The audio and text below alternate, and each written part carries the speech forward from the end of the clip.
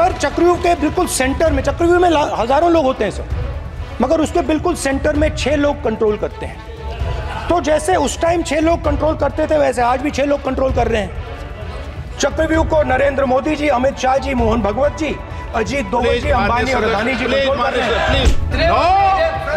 आपने क्या आप उसकी पालना करना चाहते हो? स्पीकर सर नहीं सर मैं अगर आप चाहते हैं सर मैं एनएसए का और अदानी और अंबानी का नाम इस लिस्ट से निकाल देता हूँ। चक्रव्यूह के बारे में थोड़ी रिसर्च की और पता लगा कि चक्रव्यूह का एक दूसरा नाम होता है। पद्मव्यूह मतलब लोटस फॉर्मेशन तो जो चक्रव्यूह होता है स्पीकर सर वो लोटस के शेप में होता है, कमल के फूल के शेप में होता है। 21वीं सदी में सर एक नया चक्रव्यूह तैयार हुआ है। स्पीकर सर वो भी लोटस की शेप में है सर और उसका चिन्ह प्रधानमंत्री जी अपनी छाती पर लग के, लगा के चलते हैं। सर जो अभिमन्यु के साथ किया गया था, जो अभिमन्यु को चक्रव्यूह में फंसाया गया था, वही हिंदुस्तान के साथ किया गया है। हिंदुस्तान के युवाओं के साथ, हिंदुस्तान के किसानों के साथ, हमारी माताओं, बहनों के साथ स्मॉल बिजनेसेस के साथ मीडियम साइज़ बिज़नेस के साथ। सर अभिमन्यु को छह लोगों ने मारा था।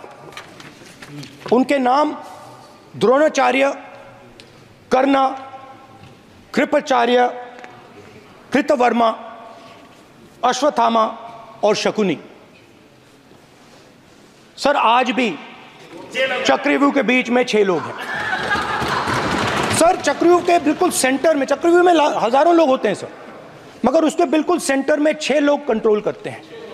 तो जैसे उस टाइम छह लोग कंट्रोल करते थे वैसे आज भी छह लोग कंट्रोल कर रहे हैं। चक्रव्यूह को नरेंद्र मोदी जी अमित शाह जी मोहन भगवत जी अजीत दोवल जी अंबानी और अदानी जी प्लीज़ कंट्रोल कर रहे हैं। प्लीज़ एक मिनट एक मिनट एक मिनट एक मिनट प्लीज़ नहीं। सर बोलने दीजिए। हाँ आप बैठिए आप बैठिए आप बैठिए आप बैठिए आप बैठिए। मान्य सदस्य आप संवैधानिक पद पर हैं। आपके कई मान्य सदस्यों ने यहाँ पर मुझे लिख लिख कर दिया है कि जो मान्य सदस्य सदस्य का सदस्य नहीं है उसका नाम नहीं लें। आपने लिख के दिया है। नो आपने क्या आप उसकी पालना करना चाहते हो? गलत। मैं मैं माननीय एक minute. Hold on hold on hold on sir अगर आप चाहते हैं तो मैं एक मिनट एक मिनट। मैं प्रतिपक्ष के नेता से ये तो अपेक्षा करूँगा सही कि वो सदन की नियम मर्यादा और मर्यादा को बने। ये अपेक्षा करता हूँ। आप चाहे नहीं करें पर मैं अपेक्षा करता हूँ। नहीं सर मैं अगर आप चाहते हैं सर मैं एनएसए का और अदानी और अंबानी का नाम इस लिस्ट से निकाल देता हूँ। फिर माननीय सदस्य आप अगर आप चाहते हैं प्लीज़ मैं नहीं चाहता सदन के नियम प्रक्रियाओं से सदन चलता है। अगर आप कहते हैं मैं निकाल देता हूँ no, सर। मैं तीन ही नाम speaker sir speaker sir. The chakravyuh that has captured India has three forces behind it. First is the idea of monopoly capital. That two people should be allowed to own the entire Indian wealth. So, one element of the Chakraview is coming from the concentration of financial power. The second element, sir, मैं budget को explain कर रहा हूं sir मैं आ रहा हूं वहीं आ रहा हूं sir so one one element is financial power the second element is the institutions the agencies, CBI, ED, Income Tax Department of this nation, and the third is the political ex- executive. Speaker, sir, these three together are at the heart of the Chakraview. And they have devastated this country. Speaker, sir, my expectation was that this budget would weaken the power of this Chakraview. That this budget would help the farmers of this country, would help the youth of this country, would help the laborers, the small businesses of this country.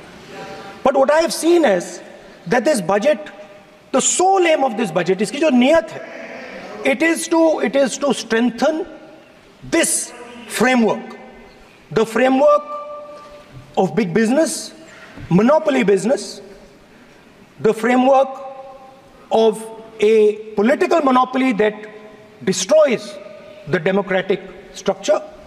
And finally, the framework of what one can call the deep state or the agencies.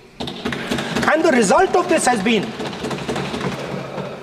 the, the first पहला काम इस चक्रव्यूह ने क्या क्या किया? जो हिंदुस्तान को रोज़गार देते हैं स्मॉल एंड मीडियम बिजनेसेस हैं जो करोड़ों युवाओं को रोज़गार देते थे उन पर इस चक्रव्यूह ने आक्रमण किया। कैसे किया? नोटबंदी जीएसटी और टैक्स टेररिज्म आप लोग आतंकवाद की बात करते हो, पूरे देश में, पूरे देश में अगर कोई भी व्यक्ति छोटा बिज़नेस चलाता है तो रात को उसको फ़ोन कॉल आता है इनकम टैक्स डिपार्टमेंट से जीएसटी से, और टैक्स टेररिज्म का वो शिकार बनता है। इस टैक्स टेररिज्म को रोकने के लिए बजट में आपने कुछ नहीं किया है। तो टैक्स टेररिज्म के कारण और ये जो आपकी नीतियाँ हैं, जो आपने कोविड के समय बड़े बिजनेसेस की मदद की और जो स्मॉल एंड मीडियम बिजनेसेस थे, उनको खत्म किया, उसके कारण आज हिंदुस्तान के युवाओं को रोज़गार नहीं मिल सकता है।